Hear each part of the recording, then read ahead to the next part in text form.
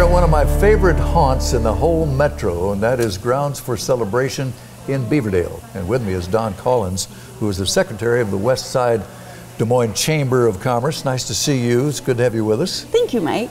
You know, Beaverdale uh, is the definition of a neighborhood. And I didn't realize that there are 10,000 people who call Beaverdale home. It's amazing, isn't it? Yeah, this is a, a true neighborhood feeling when you're in Beaverdale. And uh, these winding streets and the old picturesque brick, uh, Beaverdale bricks that they're famous for, give it that character and charm that, you know, you just can't find in the western suburbs or the eastern suburbs for that matter. Mm-hmm. Well, tell me about Beaverdale now. What is, uh, what's going on? Because I know there's always an activity of some kind happening in Beaverdale. Talk about some of the things that people get into when they live in Beaverdale. Sure. Thank you for asking, Mike. I love walking my dogs and seeing all the people being active in our community. People ride bikes year round. We have wonderful bike lanes and walking lanes. Um, we just finished up the Christmas lights on Ashby, and it's Right. beautiful. Oh, yeah. People come from all over Iowa to look at our Christmas I'm displays. sure. Well, you know, 10 minutes to downtown Des Moines, five minutes to Drake, easy to the west side.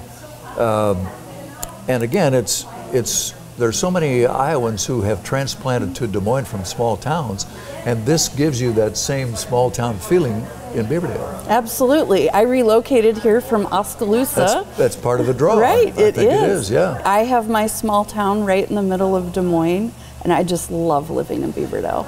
the friendly merchants, you know, the, uh, that small town feeling right through the uh, uh, through the uh, business community, and the overall ambience, I think, is is is what people like about it. Three or four beautiful parks. Ashby is one of my favorites, um, but Witmer is gorgeous and it has gotten some new, um, a new look to it. Yep. And there's a wonderful splash pad now at Tower Park and lots of green space for my dogs to run around too. And again, the Easter egg hunt and farmers market and uh, activities all the time. And, and I know the uh, uh, Beaverdale Fall Festival is a big deal, and the parade is going to be back on this year, right? I am looking forward Yeah. to that parade. I have missed having my float. Yeah, that's always fun. It really is. So much community pride. It just you can just feel it when you're in Beaverdale. Um, 143 blocks. I was a little surprised at the northern boundary of Beaverdale being Meredith Drive. Mm-hmm. So it, uh, it goes farther north than you think, from Forest all the way to Meredith Drive. Right? It does. And then I think the uh, east-west is something like 30th to 50th or something like Yes. that. Yeah. Uh, all kinds of neighborhood associations, and uh, they really support their community. Yes. And the neighborhood association is very active, um, and we really work together as a chamber with the neighborhood associations in planning events and collaborating on beautification as well. I had so many uh, merchants who've been here for many, many years. My favorite bookstore, you know, Yes. Beaverdale Books. And a new addition recently, the new Fareway uh, shop.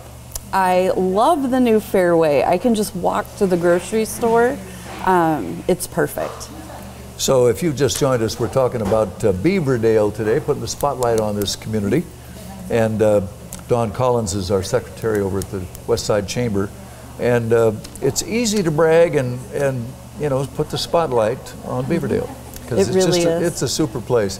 And I'm here at least twice a month here for my mocha at, and skim milk. Skim milk cancels out the uh, whipped cream. That's how I do it. Absolutely, it does. Perfect. Thanks for being with me. Thank you.